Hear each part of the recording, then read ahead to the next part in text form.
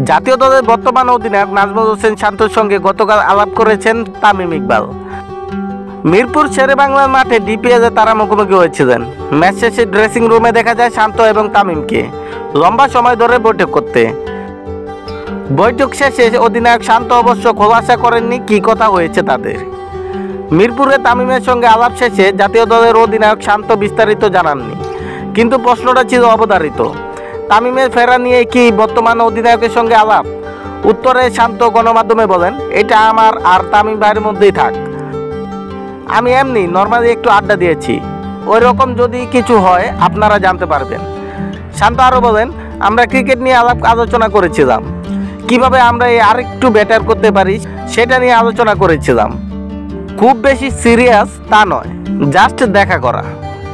তামিম দলে ফিরলে তা সুবিধাজনক হবে কি না এমন প্রশ্নে শান্ত বলেন। ভালো তো লাগবেই তামিম ভাইয়ের মতো খেলোয়াড় দলে থাকলে অবশ্যই জুনিয়রদের অনেক সাহায্য হবে। ওনার যে অভিজ্ঞতা আছে, উনি থাকলে তো অবশ্যই দলের অনেক সুবিধা হয়।